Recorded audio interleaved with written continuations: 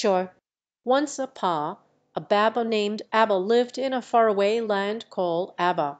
Abba was a very happy Baba who loved to explore the beautiful landscape of Ava.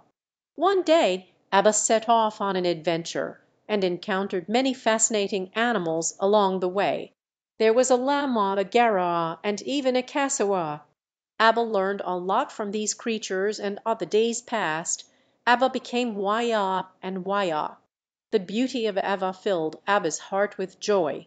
Eventually Abba met a wise Baba who taught Abba the importance of kindness and love towards all living beings. With this new understanding Abba went back home, spreading love and compassion to everyone in Abba. And so Abba lived a happily ever after.